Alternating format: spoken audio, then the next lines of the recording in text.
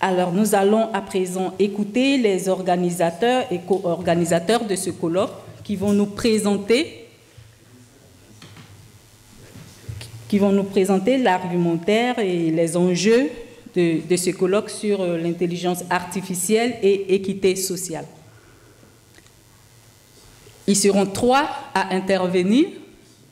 Alors, je pense que la première personne à intervenir sera le professeur Alain Kiendou. Alors, il est professeur titulaire en sciences de l'information et de la communication à l'Université Bordeaux-Montaigne. Il est titulaire de la chaire UNESCO Pratiques émergentes en technologie et communication pour le développement. Il est directeur du laboratoire Médiation, Information, Communication et Art.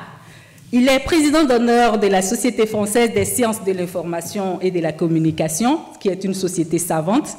Il a publié plusieurs ouvrages, je ne vais pas les citer, sinon on ne va pas finir.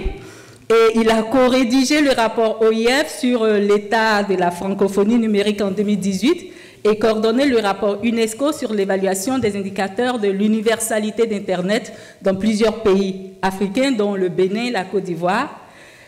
Il a participé à diverses expertises internationales, notamment auprès de l'Agence pour l'évaluation de la qualité de l'enseignement supérieur de la Belgique, du Haut Conseil de l'évaluation de la recherche et de l'enseignement supérieur en France. Voilà, il a plusieurs, plusieurs, plusieurs activités, plusieurs cordes à son art. Professeur Alain Kiendou, nous vous écoutons. Merci.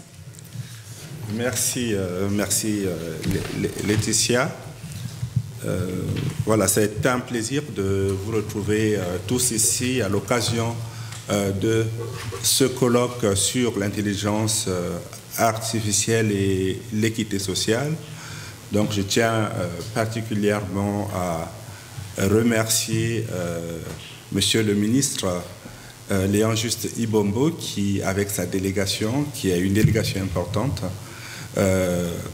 constituée euh, du conseiller, de son conseiller en technologie, du directeur de l'agence du numérique, du conseiller en télécommunication du Premier ministre, M. Luc Sidimbazi, euh, de M. Léon Parfait Iloki, qui est le responsable de communication du Parti congolais du travail, et euh, de notre éminent professeur, Monsieur Boao, qui est professeur à l'université Marien Ngwabi, et je pense que j'en oublie d'autres cas. Merci beaucoup, Monsieur le ministre, d'avoir fait que le Congo soit euh, bien représenté ici et euh, nous allons échanger davantage sur les propositions qui ont été faites de façon à continuer à renforcer cette collaboration qui existe depuis euh, très longtemps.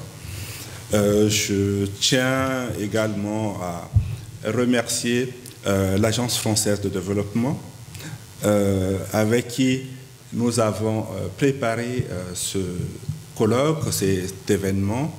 Alors c'est assez spécial parce que d'habitude, quand nous travaillons avec des organisations internationales, il s'agit simplement de nous donner une subvention et d'avancer, de faire ce que euh, nous comptons faire. Mais là il, a été question d'une réelle collaboration scientifique euh, avec euh, un certain nombre de projets. Le colloque euh, d'aujourd'hui n'est qu'un projet parmi, par, parmi tant d'autres.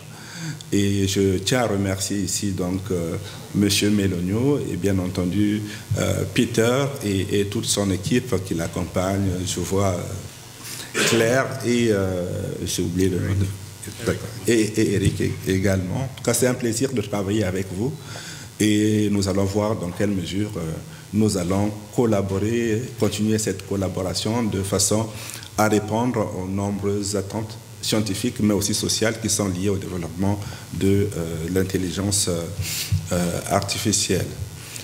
Euh, je remercie M. Jean-François Lancelot, qui vient de Paris, qui est donc le directeur de partenariat de l'Agence universitaire de la francophonie, qui nous accompagne aussi, avec qui nous avons un certain nombre de projets. Je pense qu'il parlera, cet après-midi euh, du réseau de recherche francophone sur l'intelligence artificielle que nous avons mis en place qui compte déjà euh, une trentaine d'universités. Et notre université euh, est donc parmi les membres fondateurs donc, de ce grand réseau international dont fait partie aussi le CARIA qui a été évoqué tout à l'heure. Alors j'ai peur d'oublier un certain nombre de collègues, hein, monsieur, mon collègue, la chaire UNESCO de bioéthique de Poimé, de, de, de je suis désolé, qui, est, qui, est, bien représenté par monsieur Poimé, le professeur Poimé. voilà, nous avons une forte délégation malgré on attendait que le ministre Kolongele soit avec nous, mais il n'a pas pu se déplacer. Mais nous avons une forte délégation également de la RDC avec euh, nos collègues de l'IFASIC. Euh, je vous remercie, nos collègues de Lubumbashi et euh, Madame Raissa Malou, qui est également une grande spécialiste de l'intelligence artificielle, hein, qui a créé euh, un certain nombre, qui a fait un certain nombre d'inventions dans euh, les respirateurs artificiels qui, ont été euh, inventés en, en, RTC. Je pense que vous aurez le plaisir de, nous en parler. Voilà, donc en gros, c'est un colloque international avec beaucoup de nationalités. Je pense que tous les continents sont, représentés ici. Et ce colloque fait partie des travaux qui ont été menés euh, jusque-là par la chaire UNESCO et qui a toujours été appuyé par la Fondation Mengene. Et j'en profite pour euh, remercier à nouveau euh, Daniel et Marc qui nous ont toujours accompagnés. Voilà, et cette chaire aussi s'inscrit dans le cadre de notre laboratoire de recherche, le MICA, qui est représenté ici par, par Cécile, Cécile, Cécile Cross.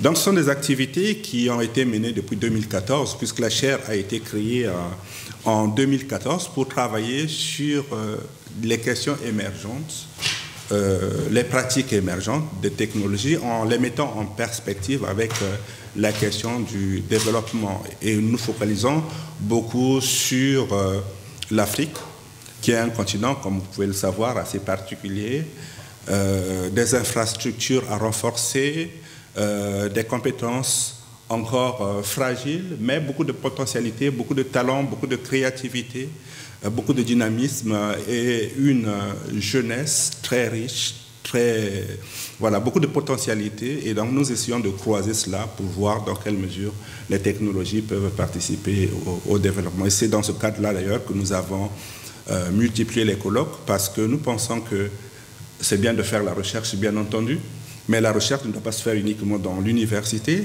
et pour qu'on puisse aller de l'avant, il faut qu'il y ait des croisements, euh, des rencontres avec euh, les professionnels qui sont sur le terrain, mais aussi les hommes politiques qui mettent en place les politiques publiques et également les organisations internationales qui, ont, qui sont généralement chargées d'accompagner euh, ces politiques publiques en question. Donc c'est dans cet esprit que nous avons organisé ce colloque de la de, la chaire UNESCO. Et je vous remercie tous euh, d'avoir pris le temps de venir participer à, ce colloque. Alors avant d'aller peut-être sur des questions plus scientifiques avec euh, euh, mon cher collègue Étienne Damon, je vais peut-être laisser la parole à, Peter pour revenir peut-être sur notre collaboration et ce projet de, colloque et tous les projets qui sont autour de cet événement. merci Alain tu dis. Et euh, au nom de l'Agence française de développement, euh, je voudrais dire encore merci pour vos présences et aussi les participations en ligne. Euh, pour nous, l'Agence française de développement, vu qu'on est fermement engagé sur le développement durable et l'équité sociale, on trouve que cette colloque, c'est une bonne plateforme pour réunir pas mal d'experts euh, ah, pour participation en ligne, euh, pour réunir nos experts, euh, les praticiens, les hommes politiques. On vient discuter ensemble sur comment on peut mieux maximiser les IA et aussi minimiser les risques associés à, cet avancement technologique. Euh, donc, euh, je pense qu'Étienne va parler de tous les cinq axes qu'on avait prévus dans cette euh, colloque en détail.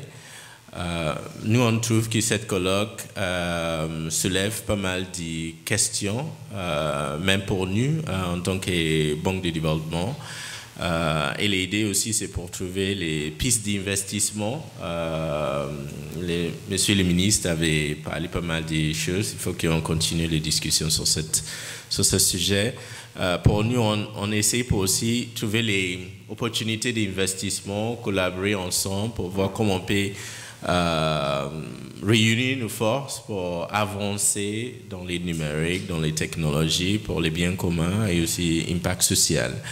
Euh, l'avancement d'IA, euh, souvent on parle des côtés positifs, mais ça soulève pas mal de questions sociales.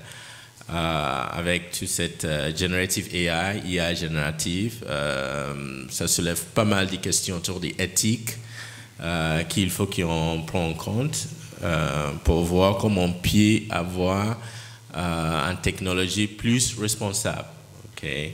Donc, je pense que cette colloque, euh, les, structures de cette euh, colloque et même les programmes euh, prennent en compte même les sociétés civiles. Euh, on avait invité Je m'engage pour Afrique et, d'autres sociétés pour venir aussi partager la vie des sociétés civiles sur cette question. Donc, merci à tous et je laisse Étienne continuer avec les côtés techniques.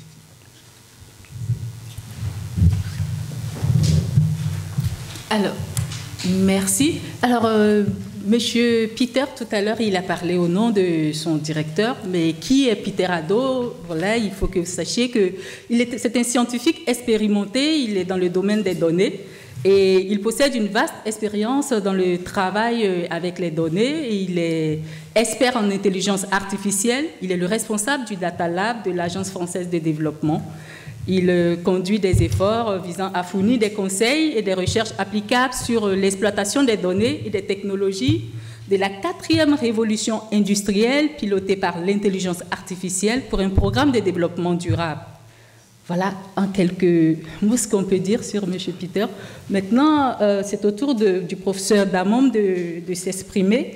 Alors, professeur Damom, Étienne, il est vice-président de l'Université Bordeaux-Montaigne, délégué à l'orientation, à l'insertion professionnelle, à la communication externe. Et depuis 2018, il est responsable de l'Axe Média, Société et Culture du laboratoire de recherche en médiation, information, communication et art, le MICA. Il est également membre du conseil académique de l'Université Bordeaux-Montaigne. Il est membre de la commission de la formation et de la vie universitaire. Il est le référent internationalisation des formations à l'UFR-STC. Il est responsable pédagogique de la licence information territoriale. Il est référent numérique à l'UFR-STC également. Il a plusieurs vraiment compétences. Voilà. Et professeur Damon, vous avez. Il est également membre du comité d'organisation de ce colloque. Donc c'est à ce titre qu'il va intervenir maintenant. Professeur, nous vous écoutons. Merci. Euh, tout n'est pas tout n'est plus actuel dans tout, mais, mais, bon c'est à peu près ça effectivement. Euh, oui alors donc il, me revient un peu de de, euh, de vous présenter un peu l'organisation scientifique de, de, ce colloque c'est-à-dire de restituer ici les réflexions qui ont conduit au programme que vous avez devant vous et qui déjà euh, avait conduit un peu à, tous ceux qui communiquent, tous ceux qui vont participer à ce colloque, de proposer euh, un sujet. Euh, eh bien, donc, je ne reviens pas sur les questions des définitions, les questions de considération, hein, toutes les considérations autour de l'IA.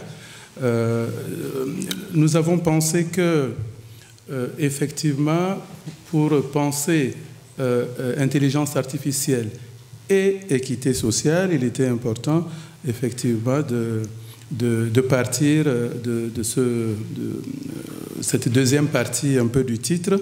Nathalie euh, s'est déjà exercée à cela dans son mot, je ne reviens pas là-dessus non plus.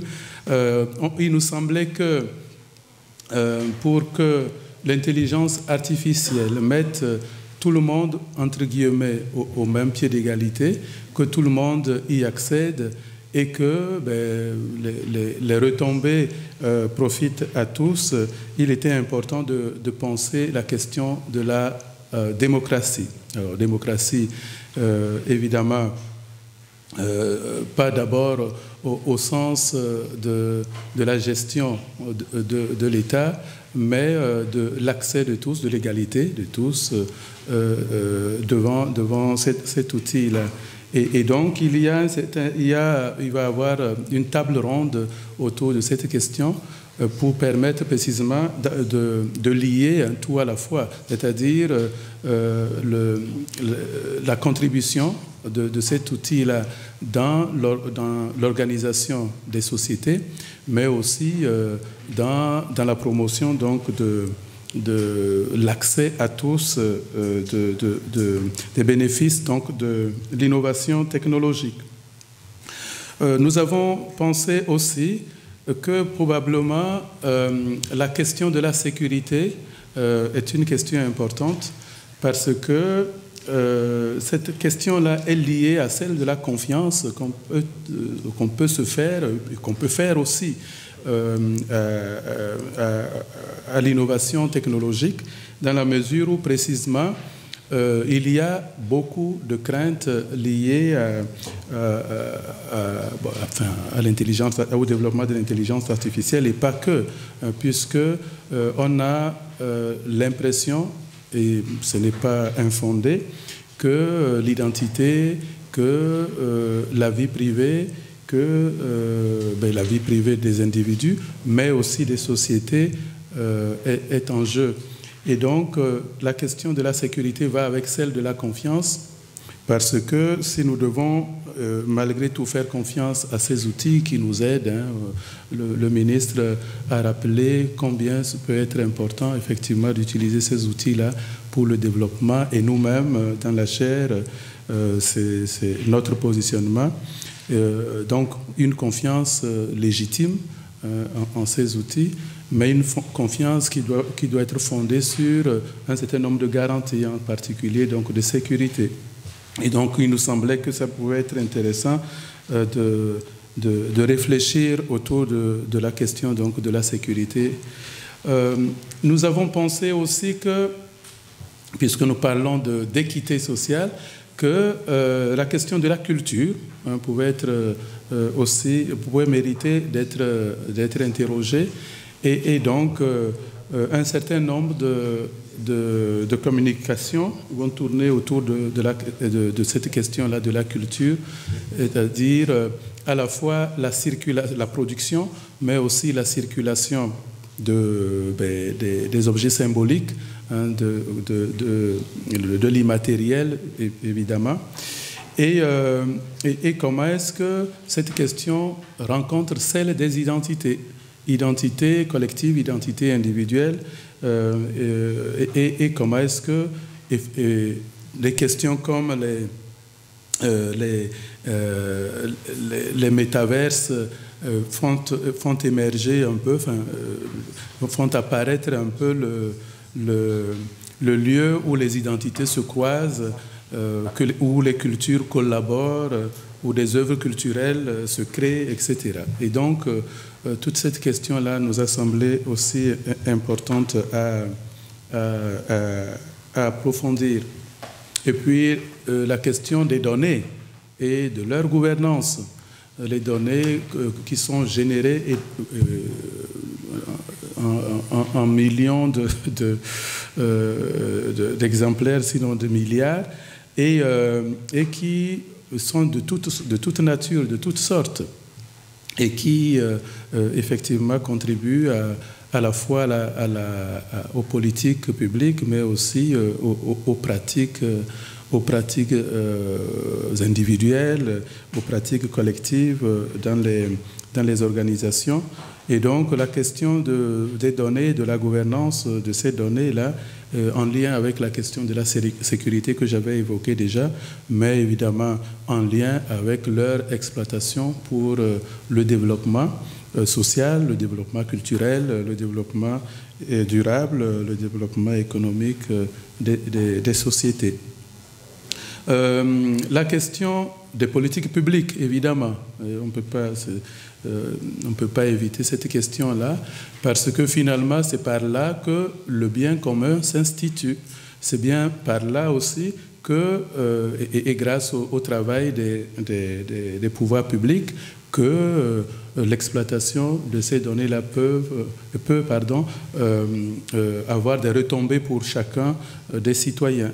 Et donc, en, quelque sorte, la réflexion conduit à, à, voir comment est-ce que les, les, politiques publiques peuvent euh, permettre que tous, tous, tous, euh, socialement, culturellement, etc., euh, puissent ben, bénéficier des, des, retombées donc, de, ces de ces avancées technologiques, de cette innovation technologique.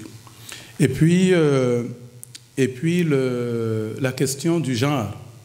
Là aussi, on s'était dit, euh, c'est sans doute inévitable euh, pour, deux raisons. D'abord parce que, euh, effectivement, aujourd'hui, la, question du genre se pose véritablement, pas, plus que hier, hein, mais aujourd'hui, on, se rend bien compte qu'on a un retard à rattraper et que la question de l'IA pose la question de, la féminisation du, milieu de, l'informatique, euh, mais aussi euh, ben, du numérique. Euh, on, fait le, constat un peu partout que ce secteur-là est plutôt investi, plus souvent investi par les hommes et donc, euh, il est intéressant de voir, et il y a une, table ronde euh, autour de ce sujet-là, intéressant de voir précisément comment est-ce que, euh, en croisant les deux, les deux notions, eh bien, la, réflexion, la, réflexion peut être, peut être féconde.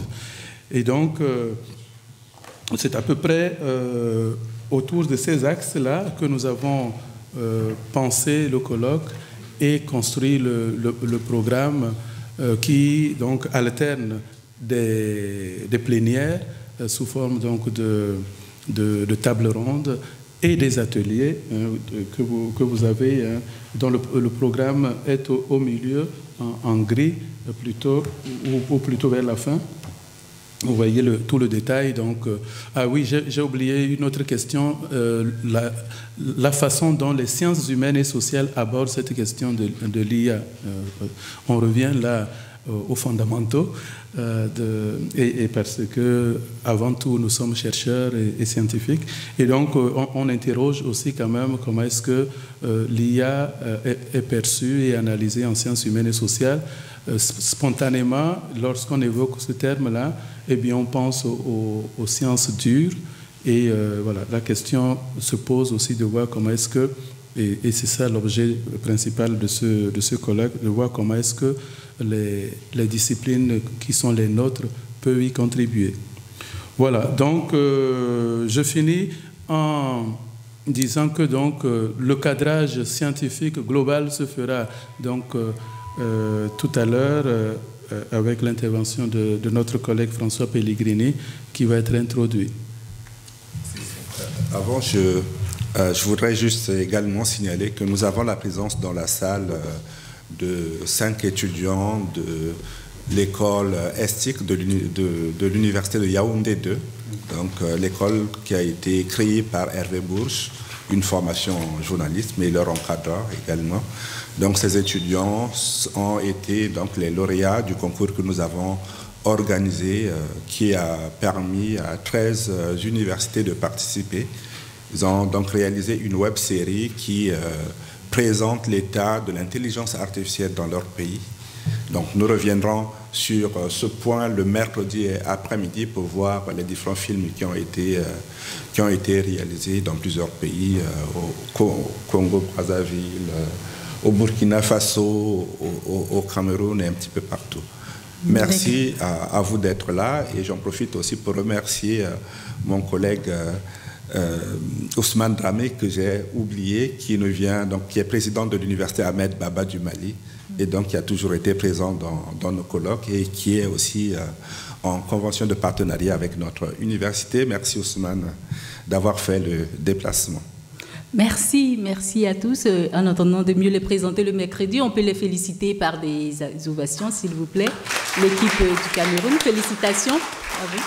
Merci.